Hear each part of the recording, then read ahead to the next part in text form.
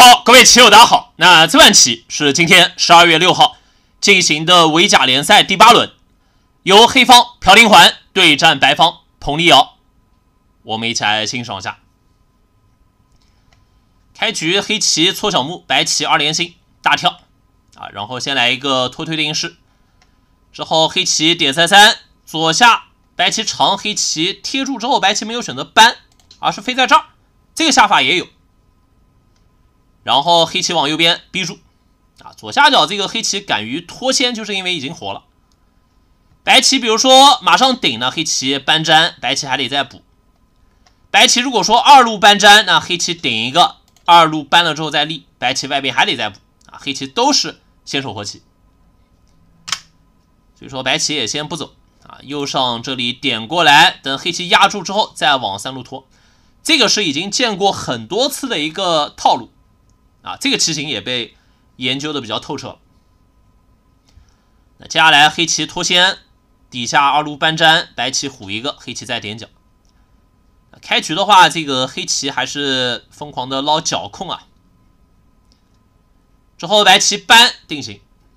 啊，一般来讲，这个黑棋会选择反搬，先把角控给拿稳。不过这个时候，如果说搬在这儿被白棋断了之后再打。那接下来不管黑棋怎样定型，白棋配置都不错。比如说你这个提掉，白棋粘也行，虎一个也行，跟底下配合都很厚。然后黑棋如果说断打在长呢，白棋飞出来作战，白棋也不虚，因为这个首先很厚，而且模样围的也很大。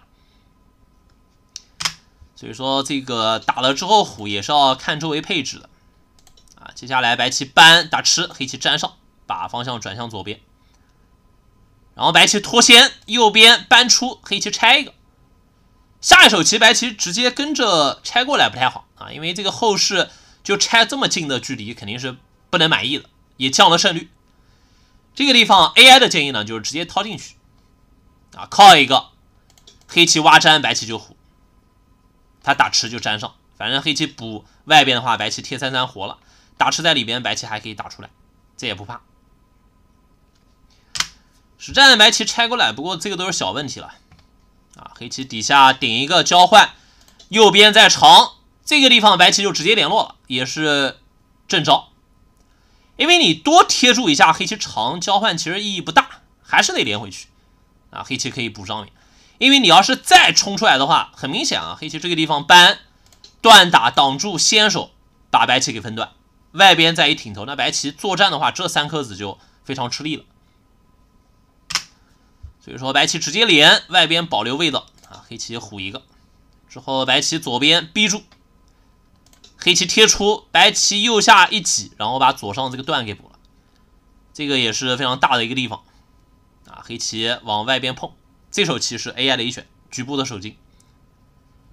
那白棋最好的应对当然也是就非常朴实的往这个二路去冲啊，然后黑棋搬，白棋这样爬回。这个爬二路的话，看上去好像很委屈啊，但是关键黑棋外边补一手也不是很厚。比如说虎在这儿，白棋点过来，这个旁边还有挖断啊，他得补，然后白棋就这样攻击，一边攻击一边发展中间的这个潜力，白棋也完全能接受。实战白棋搬上面的话呢，黑棋挺头啊，再冲下来黑棋一断，这样下的话，白棋打算这个弃子取势了。接下来白棋压啊，黑棋长一个，因为你从外边打了之后冲，黑棋正子有力啊，它断上去你争不掉，那肯定是不行的。所以说，既然这么下的话，白棋继续压过来啊，黑棋挡住吃子，白棋打了之后再往底下去搬。这个棋先交换是为什么呢？就是因为如果说你走其他的啊，以后这个黑棋搬你只有长，然后再爬你还只有再长。先搬一个话呢，这个黑棋挡住，比如说你再走其他的，以后黑棋要打你就可以反打啊，他提掉你就可以粘了，这个底下就严严实实的包扎好了。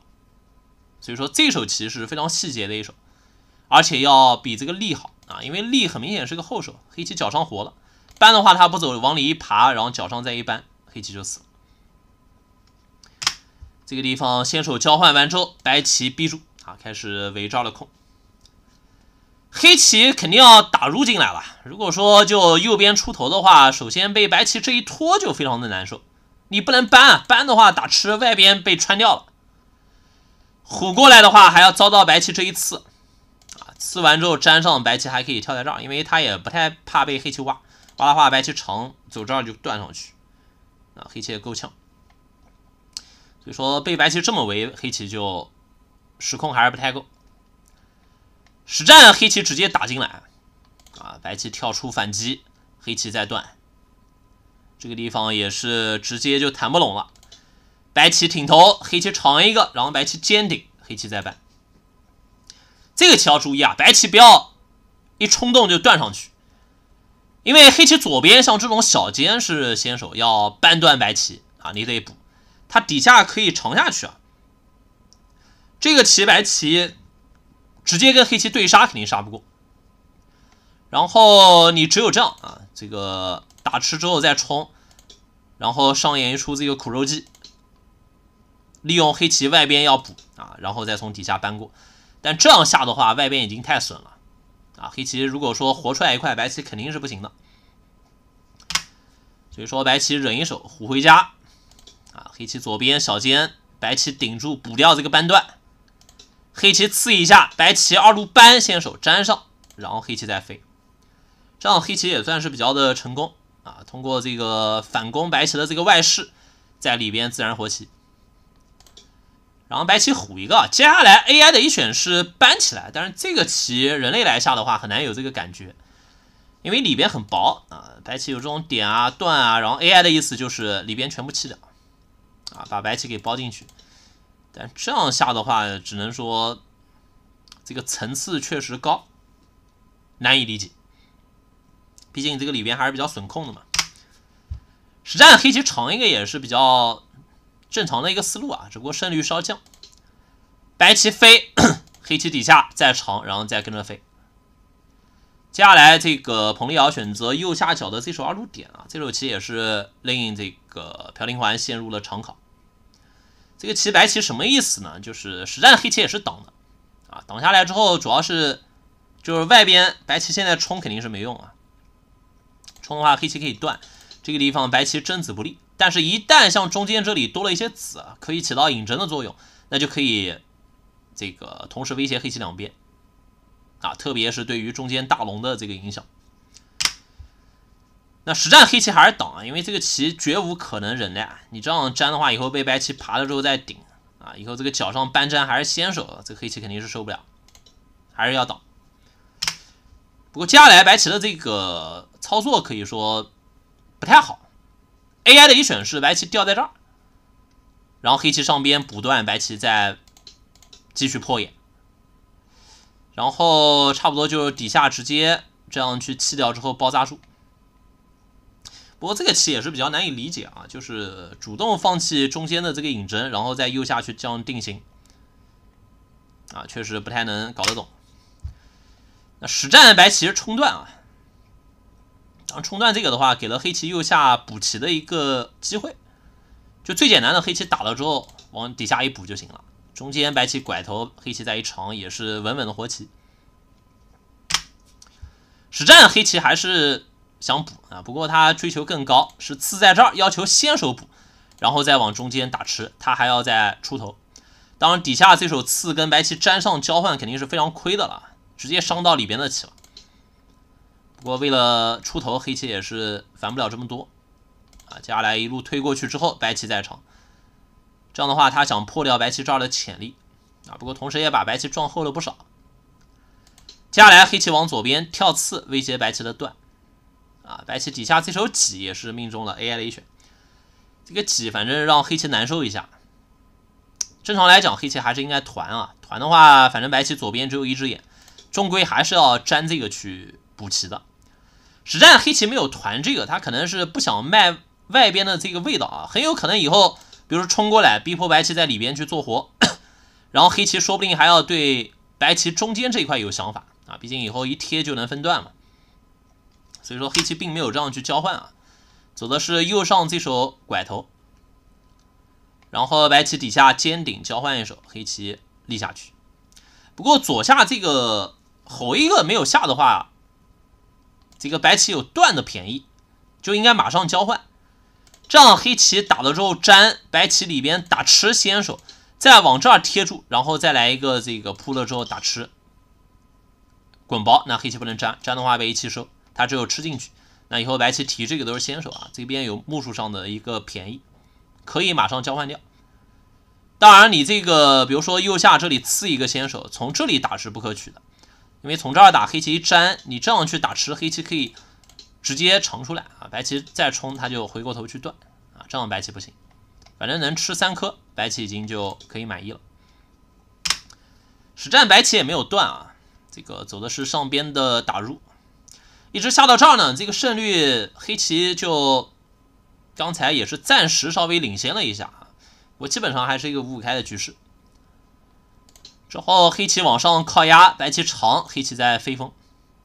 这个里边确实白棋不太好直接活啊，比方说最容易想到的这这里的二路搬打吃先手啊，这里翻打二路飞贴住先手啊，上边这里打吃，关键是黑棋就是这样反打点进去杀，白棋局部也不活啊，最多是杀起来可能味道不太好。实战白棋往这儿掉一个，这个棋希望黑棋补，那白棋确实便宜了。实战黑棋肯定要反击，不过黑棋稍微走的偏差了一点啊。这个棋一选的是尖顶，实战走的是这手飞，一下子又降了胜率。这个地方 AI 的这个判断还是非常严格的，主要是你差了一路，看似好像并无大碍，但是直接影响到白棋做活的这个可能性。接下来白棋贴出啊，黑棋并一个再次降胜率，这个时候白棋胜率来到八十啊，直接反超。然后白棋粘，黑棋再挡住。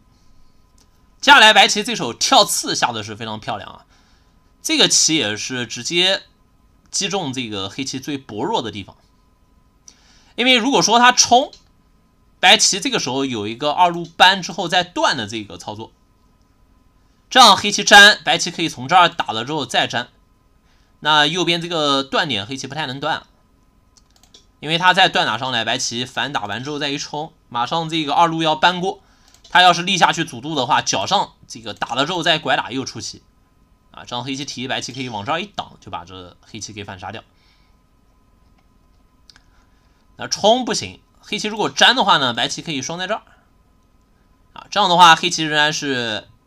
断打，那白棋可以这样粘上之后，等黑棋粘封锁之后，直接从中间冲断。这个地方也变得非常的复杂啊，就要看这个对杀了。这个对杀一定要好好的去算啊。比如说黑棋从这儿打，白棋长了之后，黑棋中间得补。那白棋上边还有这种二路飞之类的这个长气的手段啊，也也是一个非常复杂的一个对杀，有点看不清。不过实战黑棋这个下法也太软了啊！直接打吃在这里，那打吃在这儿的话，白棋二路一飞，黑棋还是没有敢挡啊。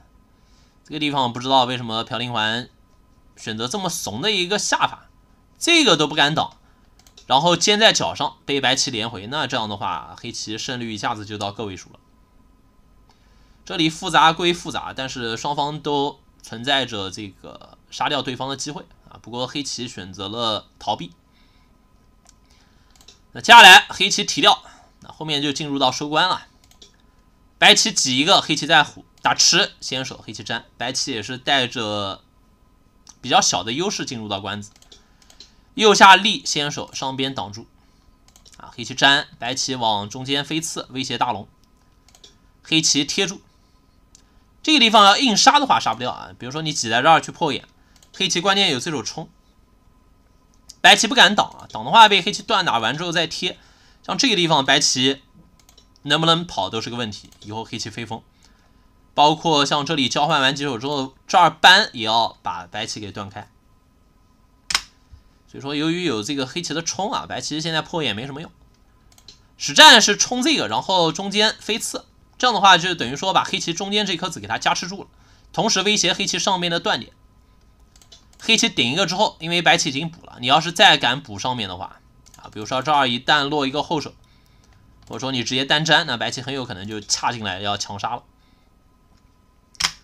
所以说黑棋赶忙往右边去搬出头，那白棋断在上面，黑棋飞，白棋团了之后打吃补棋，啊，然后黑棋跳回。接下来白棋往右边断，黑棋长，白棋先贴住，保证右边的这个空的完整性。等黑棋拐打出来之后，白棋再长。接下来黑棋搬啊，也是一边联络一边破眼。白棋飞一个，黑棋啊还要顶进去破眼。白棋这个时候也是下的非常细腻啊，临危不乱。先往上夹一个啊，这个棋好棋。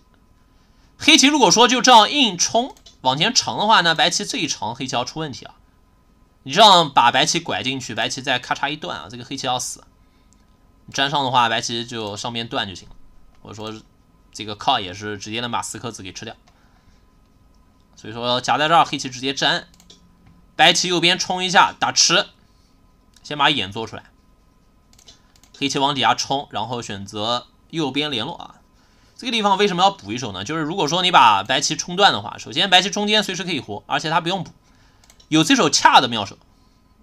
这一恰之后，黑棋打吃，然后白棋可以提掉这，把黑棋右边这个四颗子给它割下来啊，有这个联络的问题。所以说黑棋补了一手，然后白棋从中间联络，这一联络之后也同时把黑棋大龙切断。所以说黑棋底下打吃完之后团住做活。因为连这两颗子会遭到白棋这一掐啊，这个黑棋气不够，团住，然后白棋往左上跳一个，黑棋再团联络，白棋右上搬粘，黑棋底下夹死这颗子。啊，白棋粘，黑棋上边冲，再冲，白棋冲，你要断的话，这儿断打完之后吃掉两颗子，黑棋不行，所以说黑棋粘这个，白棋再粘啊，黑棋右边搬，白棋贴回。一路搬粘先手，上边冲一下，白棋顶住，旁边这颗子一跑，白棋打了之后，中间再冲，黑棋挤先手，啊，白棋团这个，黑棋断打完之后连回，白棋右边一打，底下一路搬粘先手，黑棋活角，白棋右边再一挤，黑棋连回，底下贴住，最后往右下角这一挤啊，走这儿黑棋就直接认输，这个也判断比较清楚。因为继续走下去的话，这儿打吃之后，你得补这个断啊，这颗子还会被白棋断吃下来。这样的话，反正收到后面差不多就是黑棋盘面四目棋样子啊，这个棋已经没得翻了。那这盘棋呢，也是相当的精彩啊，双方下的也是比较的激烈啊，特别是在右上这里的争夺。